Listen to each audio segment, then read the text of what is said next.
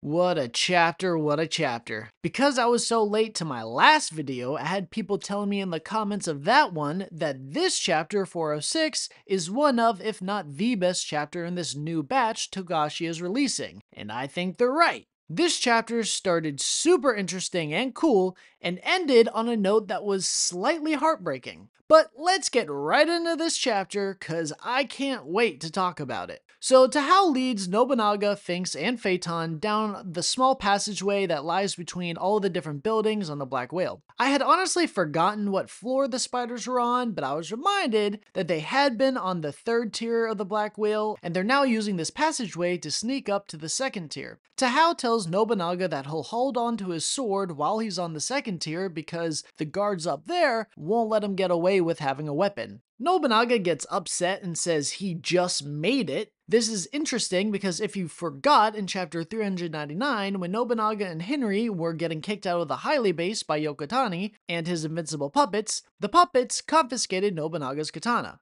So this is interesting because either Nobunaga used a conjurer ability to make another sword, or he somehow had the skills and resources to literally make another sword. While I think it's clear that Nobunaga conjured this sword, one thing that I noticed is the way Nobunaga talked about the sword, and on top of that, Feitan was saying it's just a replica, which to me makes it seem like Nobunaga views this sword as a temporary replacement rather than this being his new sword. And that makes me think that he he's not necessarily a conjurer because if he was, he'd just make a new permanent sword, which granted that could be what happened, but I think that he's a different Nen type, possibly a transmuter, and he dabbled in conjuration to make a new temporary sword because, well, it's his shtick, he's a swordsman and he needs his sword. But that's just something interesting I'd like to point out. But Nobunaga is like, why can't I just bring it? And Fink says, it's because you don't even try to hide it, dude. And Tahao follows up with, up on this second tier, the soldiers are fresh, they're newbies. If they see you with a sword, they're just gonna shoot you before they even think to ask questions. And then we catch up to where we ended last chapter and Tahao opens a door and says things will start to get intense. While I thought that maybe they were going to enter the Heily processing room, which in hindsight was a silly thought, they entered the outermost layer of the black whale, and that's the waste processing plant area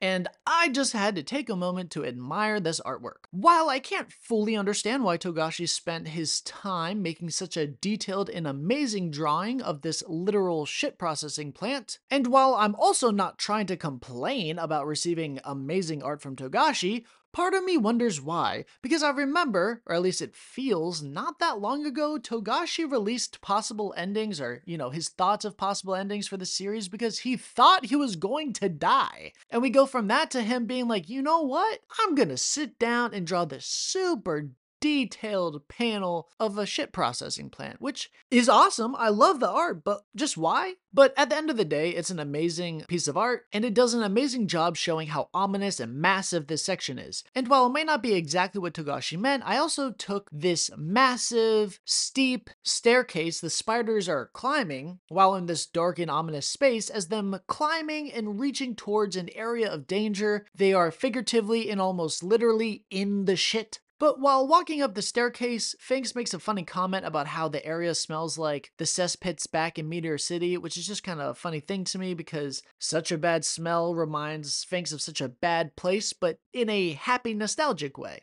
which is fitting of the spiders, I suppose. Then Nobunaga asks if the Char and Shiyu are in charge of this area, and Tahao says yes. Then Nobunaga shows off his IQ, per usual, as he furthers his questioning, saying that the Char and Shiyu probably don't maintain it themselves, and they get subcontractors who then hire people to actually maintain it. And then, because those workers are always changing, there's essentially no reporting back to higher ups. This then leads to Tahao nervously turning around and asking Nobunaga if he's implying implying that the Heily are posing as the subcontractors. This leads to Phinx and Feitan adding in about how the Heily could just be pretending to hire people to work for them, but really they're just creating a kill farm basically, which could potentially give the Heily members very easy way to level up. Tahao then says again how being around the Phantom Troupe makes him feel like a model citizen, following up on this idea how in order to understand a group so evil, the spiders themselves must be as evil. Nobunaga then says that with this new knowledge, he's going to try to go back to tier 3 to see if he can find some Heily members to question and then probably end up killing them. And it makes me wonder if when he goes back, if he's gonna have some kind of confrontation with Kenny. And although I wonder it, my heart tells me Kenny's too slippery and too much of a coward to get in a confrontation with him, but we'll see. Phinx then asks Nobunaga if there's anything they should know about the Heily base, and Nobunaga tells them about Yokotani's ability and the fact that if you attack him, he can activate an invincible ability that forces you out of their hideout. Phinx asks how they're supposed to deal with an ability like that, but Feitan says that if it's just for self-defense, as long as they wait to be attacked first, the ability either can't be used or won't be invincible. The specifics weren't clear, but in short, they just can't attack attack first. We then get another very detailed panel that I can't say has any significant importance off of the top of my head at least, but I want to admire and give praise anytime Togashi gives us detailed art. We then get another look at the Heily corpse disposal room where Henry hid the tracking device back in chapter 399, and the oyster he had disguised the tracking device as loses its form and goes back to its normal tracking form and begins beeping. There's something to be said about this, but I'm going to save it for later. We then switch to Henry and Zakuro, and I gotta eat my muffin. I gotta admit it, I was wrong. Last chapter, I didn't really get into why Bonolenov was so concerned about the Shiyu tracking Lynch's death back to him. I didn't get into it partially to save time, but also I just really didn't think anything would come of it so soon, but here we are. Zakuro and Henry are chatting, and very quickly, Henry asks where Lynch is, because once they catch Heily members, he wants to use her to question them, but it's right here when a Shiyu member comes rushing up to Henry. It turns out that during a patrol preparing for Hulkenberg's funeral, a group of soldiers found Lynch's body with her neck broken, and not just broken, but twisted 180 degrees, and honestly, it's pretty nasty how she got done in by Bonolenov, but Henry tells the soldiers that they'll deal with her body and not to worry about it, essentially. Then this starts the exact process Bonolenov was worried about, which once again I did not expect to happen so soon, so I never covered it, but Henry immediately confirms with Zakuro that he and Lynch parted ways after they came across Hisoka. Zakuro says that he and Lynch were both knocked unconscious and says that if Hisoka was the one behind Lynch's killing, he should have killed him too. Henry then asks Zakuro if Lynch could have followed Hisoka into the theater and gotten killed, and Zakuro says no. And on top of that, even though his head was a little fuzzy, Zakuro remembers when he woke up, Lynch was acting weird, because normally she wouldn't have been concerned about him. Here, Henry's genius might be for the worst, as he thinks someone else here, he has the first suspicion that not only Lynch, but Hisoka was someone else. Henry proposes the idea that the Lynch Zakuro woke up to was a fake and she had already been killed. Zakuro seems confused and worried and is like, do you really think that? And Henry says for now it's just a theory, but if it was Hisoka in disguise, why would he kill Lynch? We then get a bit where Zakuro is super confused and not really keeping up with Henry's thinking, and he says how if it was Hisoka, how could he change his height due to Lynch being so much shorter than him? This leads to Zakuro saying, wouldn't it make more sense if Lynch was just under a manipulation ability? Henry says that is true, he's never seen someone be able to change their height in disguise, and adds that if they were to say Hisoka is a manipulator, why would he have Lynch say that she was going back to the Shiyu office when it would be much more advantageous to just have her disappear, so that they would be thinking of a bunch of different explanations as to where she went, how she died, all of that. But here Zakuro says maybe that's what they wanted to avoid, and maybe they didn't want them to think of all of these different possibilities. So in fact, they were trying to limit the possibilities rather than expand. This sparks a new thought process for Henry, and he tells Zakuro to tell him everything Lynch said from the second he woke up. Zakuro says how she told him to get up, asked if he was okay, and then importantly, he remembers that she told him that the guy they came across was definitely Hisoka. Henry says that was the part that was supposed to limit their thinking. And Zakuro starts to kind of have a information overload. He was like, wait, so Lynch was a fake and was really Hisoka, but also that Hisoka was a fake. So Henry reveals his full theory, which is that someone was acting as a fake Hisoka and they were discovered by Lynch's ability. That person then killed her and then relayed the message that he was the real Hisoka to Zakuro. Zakuro asks why someone would do that, and Henry says it's clear and proceeds to pretty much figure out exactly what Chrollo and Bonolenov's plan was, on top of already figuring out exactly what happened. But Henry says whoever they are, they're looking for Hisoka themselves and didn't want interference from the Mafia, so their plan was to act as a fake Hisoka and make the Mafia think that they had found the real one. That way, they could proceed to look for the real Hisoka while the Mafia stays out of their way, which was exactly the plan Chrollo had come up with. Zakuro's aura begins to release as he says, if this mystery person or group that killed Lynch is part of the Phantom Troupe, that would spark a conflict with the Char considering the Char are more or less officially the family working with the spiders. Although they do talk about how they do not have solid proof and they can't proceed without any, and when they say that they mean specifically a conflict with the Char, the spiders are not protected in this little need for balance. We then see a very angered Henry and Zakuro, as Zakuro says, no matter who the culprit is, we'll avenge Lynch, right? And Henry says, of course. And right here, I'd like to point out that Henry looks a little bit like a pigeon. A very intimidating and strong pigeon, but a pigeon nonetheless, and I love that. We then cut to Chrollo, who's passing by the large crowd, all huddling to see Hulkenberg's body pass through. Chrollo opens his book to use an ability called Love Dial 6700, and by inputting certain criteria into the phone, it will ring and call whoever you're looking for. And once they've been found, guidance will be provided. Chrollo listens to the phone ring, with very little success. And as more and more people show up for Hulkenberg's funeral, and the fact that the Heily are planning something during this, I'm getting a very bad feeling here. But Chrollo's call fails, and he says he can't find them. It's ambiguous who he's looking for.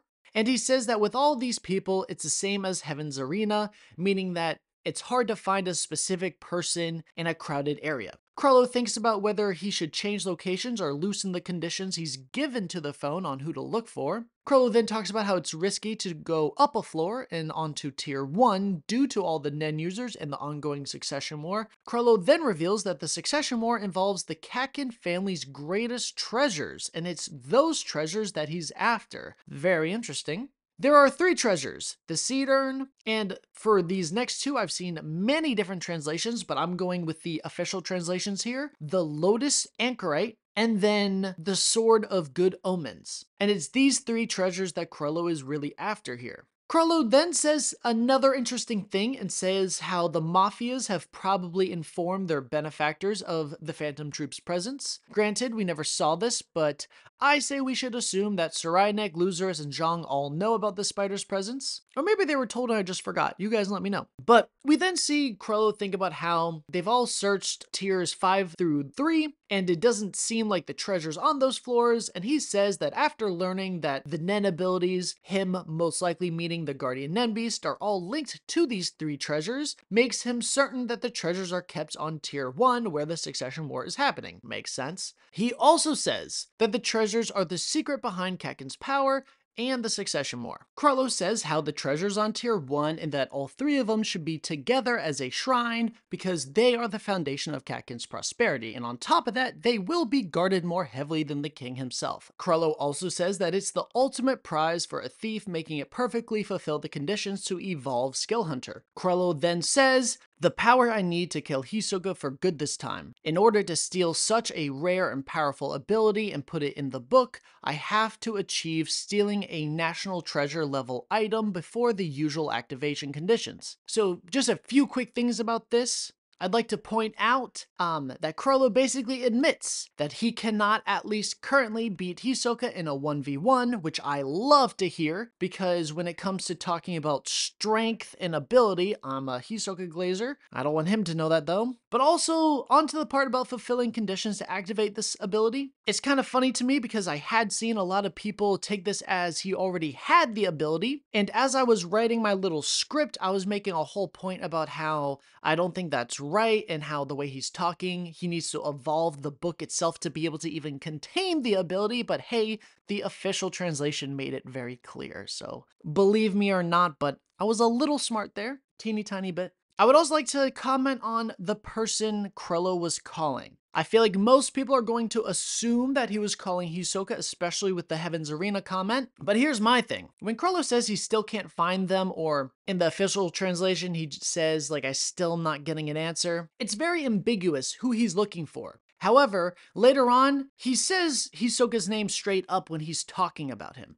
So my thinking is, if he was looking for Hisoka, he would have said, I still can't find Hisoka. The only reason to be ambiguous here is if it's still supposed to be a mystery who owns this Nen ability Chrollo wants to steal. So I think that's who he was calling, not Hisoka. And this also makes sense because he probably wants to know where the person with this ability is before he tries to steal the treasure because once he does, he's gonna want to find that person quick. He will not want to sit around. So he's pretty much going to be on a time frame. He needs to know where this person is so he can steal the treasure, find them, and then he can call and find Hisoka. Unless if you want to argue that he already knows where the person with this mystery ability is, and he's now trying to find Hisoka. But anyway, we then see Chrollo saying that if he goes up to tier 1, he risks running into Hisoka before he's ready for combat, which once again just proves that Chrollo without prep time and potentially extra help which I call cheating, he can't beat Hisoka. My Chrollo cheated agenda lives on, people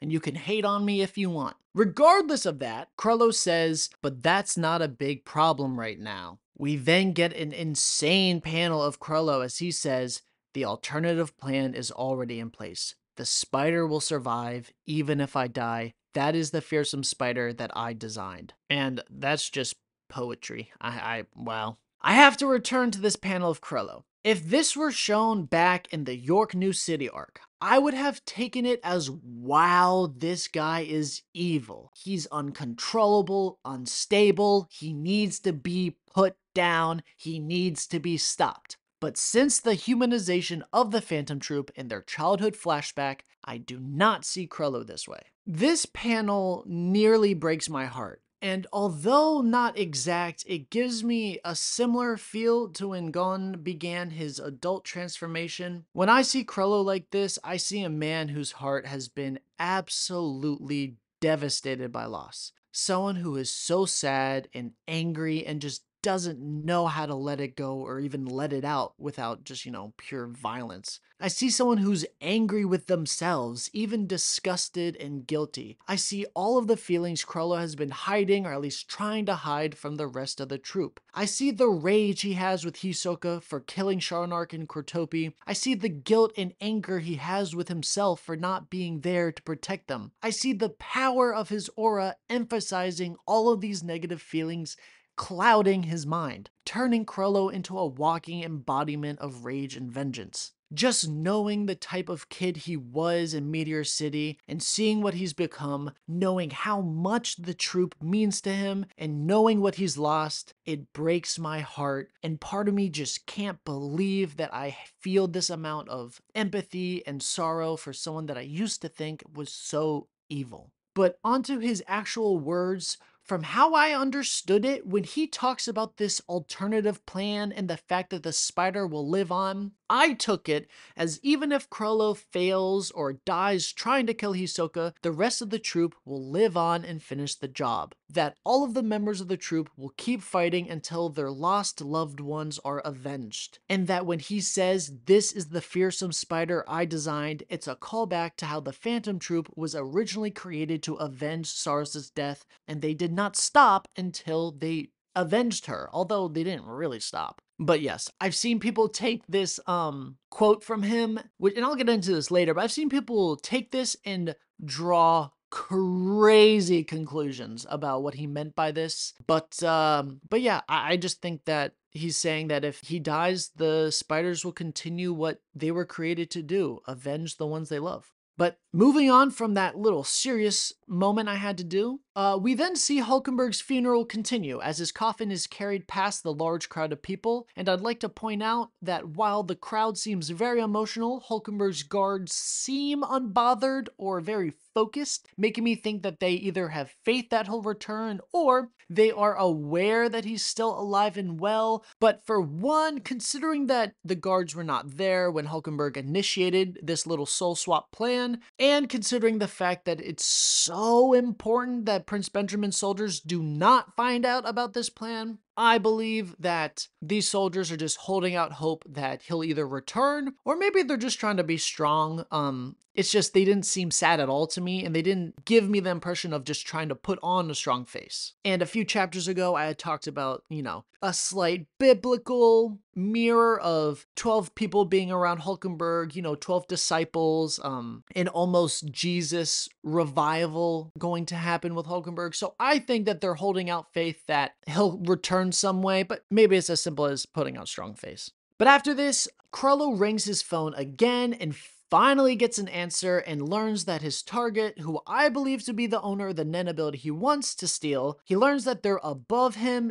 in tier 1, meaning that the treasure, Hisoka, and this Nen ability are all on tier 1. And there ends the chapter, and holy moly, that was a really good one. I could say again and again how good it was, and it still wouldn't fully get my point across and how I really feel about it. So let's skip me trying to get that point across and just get into my deeper thoughts. So I'm still on the train that Tahao is also a traitor, along with Kenny. And to me, if he's not a traitor, then he's just kind of dumb. And I don't mean foolishly dumb just like dumber than I would expect an underboss to be. Because for reference, he's the underboss for the Char, and Henry, the man who's able to figure out with minimal information that not only did Hisoka kill Lynch, but that Hisoka was a fake, who also disguised themselves as a fake Lynch to feed them false information. So with that standard of what an underboss should be, Either the Shiyu are just infinitely more intelligent and organized, which I guess is possible,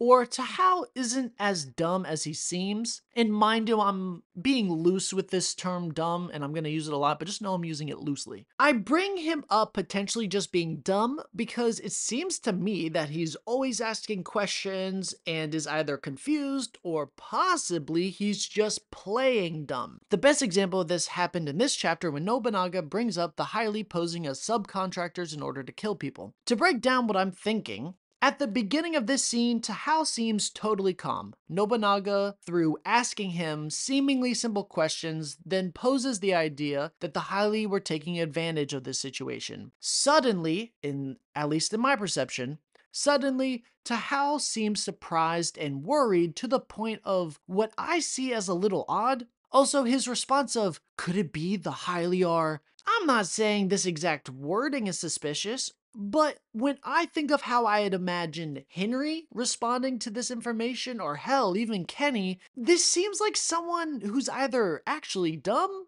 or is playing dumb. And I'd like to hope, as an underboss, he's not actually dumb. I'd also like to point out this little piece right here. I'm not sure what you call this, but this use of black background with an almost reactionary whiteout, I'm not sure if there is a technical term for what this is, but throughout Hunter Hunter, this is used to add emphasis on someone. Either when they're saying something really important, or who they are really important, or what they're doing is really important. But it's used to show emphasis. So why is there this small whiteout at the bottom of Tahao's ear? Well, in general, I think it's because what Nobunaga says caught Tahao's attention, but more specifically, I think it's his actual ear we are meant to pay attention to. Ears can often be associated with lying or deceitfulness. It's believed some people will scratch or tug their ears when they're lying, in some religions, such as Christianity, ears can be associated with lying or false truth, such as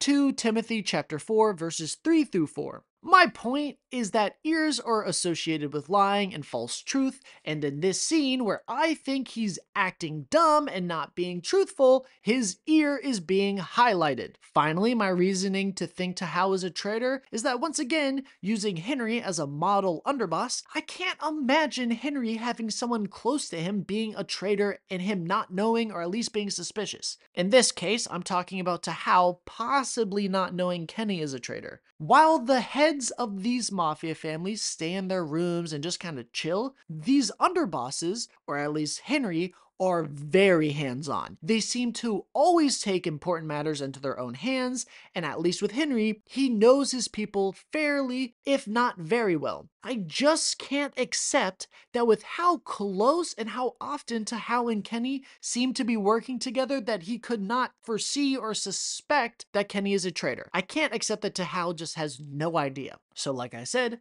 either Tahao is a traitor or he's a terrible underboss. And I forgot to say this earlier, but and I said this last chapter, but another explanation for why Tahao would be a traitor is because their benefactor is Luzurus, they might just see him as lazy and I mean he sits in his room getting high all the time. So they might think that this mafia family has lost its honor, its purpose, and they want to be part of something strong, which leads them to the Heily. But speaking of underbosses and Henry, let's talk about him. So something I wanted to talk about was the fact that the tracker he left in the Heily base reverted from the clam and back into the tracker. I've seen people say this is Henry essentially saying he no longer is working with the spiders and he's trying to screw them over, but uh, this happened before he even knew Lynch was dead. Also, he's explained before that the items he changes, they revert back to their original form once the aura Henry places within it is depleted. So this is not any type of purposeful doing by Henry, but it is a big problem. If the Heily members find this tracker, they can lead the spiders into a trap, and while I don't think they'll like kill them, it will cause them a lot of issues. But other than that, I just need to hype up how smart Henry is. I was so sure that no one would find out what Bonolenov did anytime soon that I literally skipped over why he was worried. But joke's on me because Henry is so smart he figured it out right away. It feels like I got outsmarted by a fictional character. I feel really dumb. But also on that, I just love how Togashi did this scene of Henry figuring all this out. By having Zakuro be so confused while also providing a different explanation, Togashi allows Henry to not only seem really smart, but make an insane discovery without it seeming literally impossible for him to do so. Finally, while I believe Henry won't act on the char without concrete proof, I think he'll pretty much go right after the Phantom Troupe members on site. He might not fight them immediately, but he's going to hunt for them, and his goal will probably to question them, but I don't know, him and his pigeons might, uh, might get to work. Don't mess with his pigeons. If there's one thing I've learned in the entire series of Hunter Hunter, it's do not mess with Henry's pigeons. But last but not least, let's talk about Chrollo. So while I did say the majority of what I wanted to already, I want to add a few more things while also adding emphasis on others. So while I did say my thinking was that Chrollo was calling the person whose ability he wants to steal, the official translation does make it seem like he's calling Hisoka, so maybe I'm wrong, and maybe Chrollo is calling Hisoka to get an idea of where he is because he wants to avoid him as much as possible until he has all of his cards set just like he did in Heaven's Arena, because he needs prep time. Anyway, even if it makes me sound like I don't know what I'm talking about, I'm gonna bet on Chrollo calling the person whose ability he wants to steal. A little support to my line of thinking is that he has Bonolenov and so many other people looking for Hisoka, and if he wants to steal this special ability before fighting him, why would he waste his time looking for him? Granted, he could want to know where he is in order to avoid him, for now, but I like to think that's not his plan. But hey, if I'm wrong, I'll happily eat my muffin. I'm just here to share my thought process, I'm not some all-knowing being, okay? Anyway, I think it's super ridiculous how much information Chrollo has. He has so much information about the succession war, about Kakin, about the treasures. I feel like someone has to be feeding him information. The best idea I have for who could be feeding him information is either Anwar or Bracco Lee, and I'm going to explain my line of thinking. So with what Chrollo knows, he's either being fed information at real time, which doesn't seem to be the case because we don't really see him communicating with anyone, but that is still a very real possibility that it's real-time information. Or someone fed him all this information before he was even on the boat. And that's kind of the line of thinking I'm going to be working with, that it's not real-time information. So considering what Chrollo knows about the Succession War, Nen Beast, and the National Treasures, I feel like the person who gave Chrollo the information had to have seen a Succession War once before. So once again, unless Chrollo is getting information in real time, this eventually leaves King Nasubi and his two half-brothers Anwar and Lee for people who are around that have seen a Succession War either definitely or potentially. While Anwar and Lee were not participants in the last succession war, I do find it likely that they could have seen it or been involved as, you know, people helping around, or maybe they just heard stories about the succession war. But being King Nasubi's half-brothers, very real possibility they know what's going on. I'd also like to say that I lean towards Bracco Lee over Anwar and Nasubi because, well, for one, I highly doubt the King of Kakin would help an outsider steal Kakin's national treasures and the keys to the Succession War, whereas possibly out of jealousy or spite, one of his half-brothers might help out with this. Finally, considering the involvement of Nen Beast and the knowledge behind that, when Zhang asked Anwar about Nen, he seemed to not know much, so between the three options, I think Bracco Lee could be the one who fed Chrollo information. However, it's still possible Chrollo's being fed information in real time, in which case it could be anyone from a queen to a prince to a high ranking or highly trusted guard. But if it's real time information, I have no idea who could be doing it. I think it could be a lot of people, but I wanted to suggest someone, and the only way I could narrow it down to anyone is if this was all prior information. So I'm not saying that's definitively who Chrollo got this information from. It's just the only name I can really provide. But moving on. So for this uh, next part, uh, in all honesty, it's it's really dumb. I didn't want to talk about this, but it's something that bothered me so much I, I have to. On my TikTok feed, I know, I know. But on my TikTok feed, I've been seeing very popular videos. I'm saying like 15,000, 20,000 likes, okay? Videos saying Chrollo made a Nen vow to kill Hisoka, and let me clarify, they're not saying he made a Nen contract to gain something to then kill Hisoka, they're straight up saying Chrollo made a Nen vow to make sure that Hisoka dies with him. And I hope anyone watching this knows how silly that is, but it's blown my mind and annoyed me that I, I just have to say something because it's simply not true. And if you don't want to hear me talk about it because it's a silly thing to say in the first place, here's where to skip in the video to skip this nonsense. So there is no statement, and to me, not even a vague implication that this is true, that Chrollo made some kind of Nen vow slash, you know, Nen contract. But most importantly,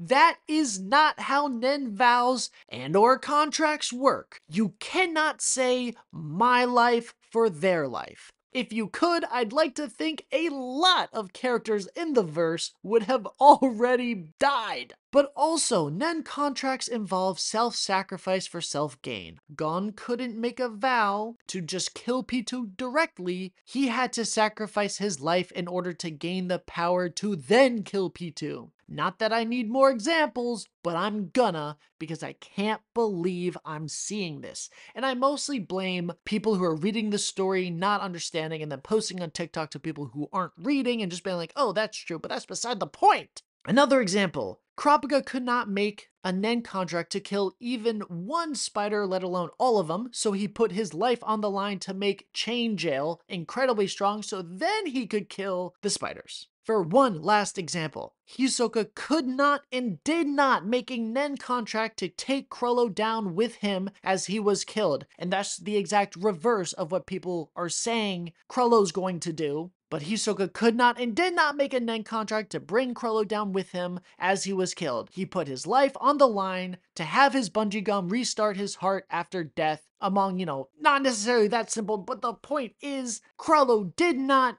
could not make a Nen vow where if he dies, Hisoka dies. So, in short, there is no sign Chrollo made a Nen contract, and even if he did make one, it is not by any means one that will directly kill Hisoka. If you stayed for all that and you're thinking, wow, I can't believe people are saying that on TikTok, well, maybe you're not, because TikTok is a cesspool of misinformation and idiots, but haha, I let it get to me. But now I'm done. Moving on. Assuming I and the official translation is not wrong and Chrollo still needs to steal this mystery ability, I'm gonna throw the possibility of him wanting to steal Kurapika's ability. Whoa, I know, such an original thought. But with the information Chrollo knows, which is a lot of stuff that he shouldn't know, I say, why shouldn't he know about specific hunters on the boat as well? My point being that he probably knows Kurapika's on the boat. And to give insight to my thought process here, I'm thinking about what's an extremely powerful ability, likely needs to be pretty complicated too, that would require such intense prerequisites in order to meet the conditions to evolve Skill Hunter so Chrollo can even steal the ability. To me, Kurapika's chains meet that criteria. They are extremely powerful with five different chains. They're pretty complicated. And the fact that a lot of their abilities were born out of Kurapika's need and want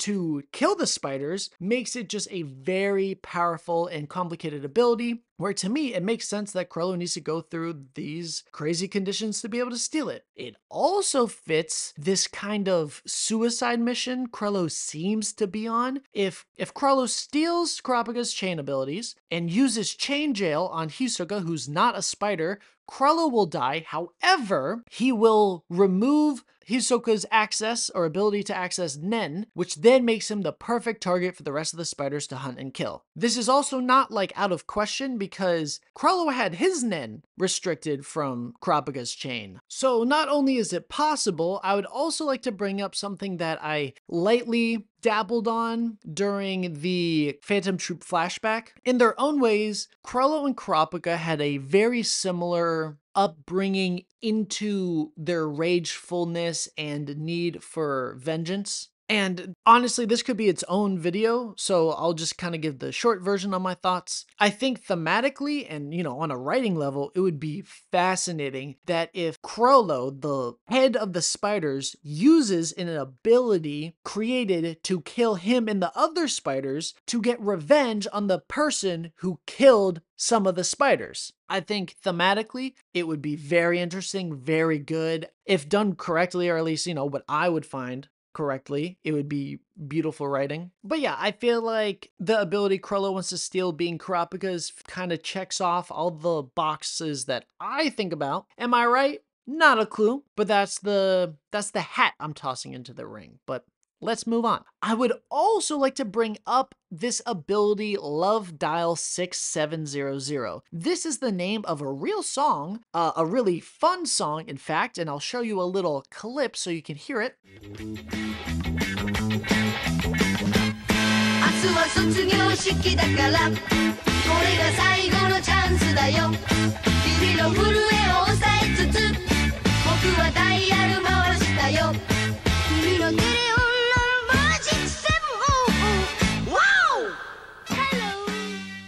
And there is a certain set of lyrics in this song I find very, very interesting. And before I read them, I want you to keep this in mind. Hisoka views fighting the same way as loving someone. Hisoka wants a one-on-one -on -one relationship where he and his partner can kill each other, but in Hisoka's words, he wants them to love each other to death. In this weird view of love, Chrollo is likely Hisoka's dream partner. And the original purpose of this ability that Chrollo is using is to find your ideal partner or your dream partner. And I'm not saying Chrollo, you know, loves Hisoka in the way I think Hisoka loves Chrollo, but nonetheless, that is where my mind is, and here are the lyrics I find interesting. I like you, like you so much I could die. I want you to accept my love. I want to say it straight out like a man would, but with my heart beating so fast, I can't. I'm horrible at memorization, but I'll never, ever forget this because it is the only thing that is connecting us. Your telephone number is 6700.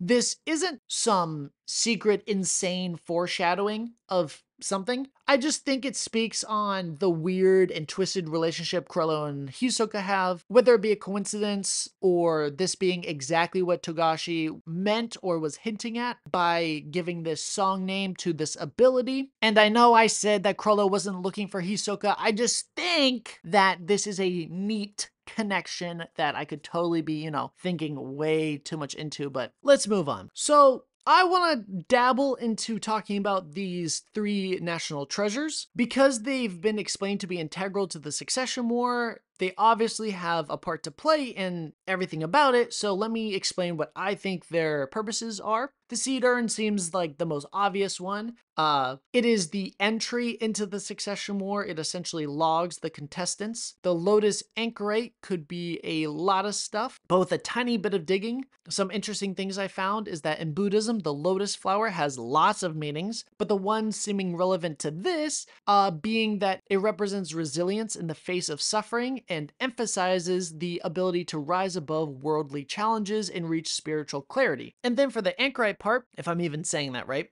at least in my findings, it's a Christian term for someone who basically secludes themselves to devote themselves to prayer. However, they do not seclude themselves like a hermit, so it goes beyond just being alone. Some of them would lock themselves in cells within churches, but at the time of their seclusion, they would be considered dead to the rest of the world. So to kind of connect that to what the statue is or does. I believe the statue is used to essentially create, or maybe more accurately, enclose the arena in which the succession war is held. I think the statue is responsible for the Nen ability that killed Kacho because she tried to leave the arena.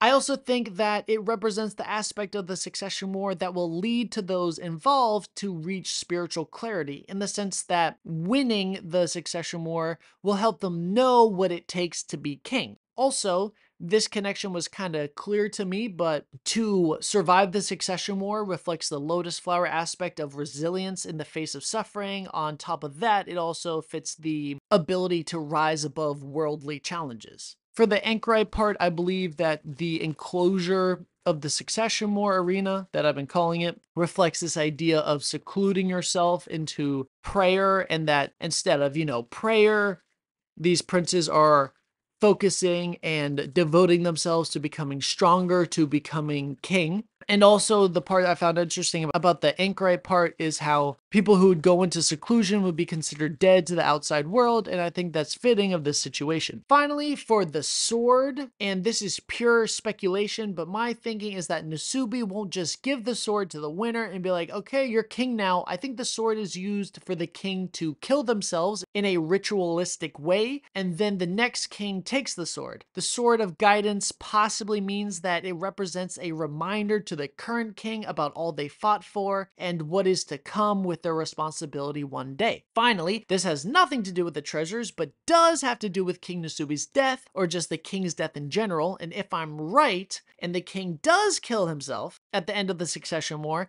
I think I can fully explain this room that we saw long ago. We've only seen one prince be placed here, and that was Prince Momoze, I think I messed up her name, but anyway, I believe this is where all of the bodies of the deceased princes are taken. There are 14 capsules with one in the middle. My thinking is the 13 dead princes plus Nasubi will be placed in the outer capsules, adding up to 14, and some way, somehow, their aura will be extracted or maybe their, you know, life force is funneled into that 15th capsule in the middle containing the Succession War winner. I know this might sound like a cuckoo theory, but it's the best I got to explain this room that makes no sense. I also think that this could be a literal way to make each King of Kakin stronger than the last, although I'm willing to throw in the possibility that this is a new aspect that King Nasubi implemented. But my thinking is the ideal but my thing is the ideology is you have a succession war. The strongest one wins, they receive the power of all their siblings, they then become even stronger, have incredibly strong kids, and then the cycle repeats. I'm not saying I'm definitely right, but I have yet to hear a better idea, so if you think you got one, please leave it in the comments or hell even make your own video about it, because I'm so curious about what this room is. The absolute last thought I have to share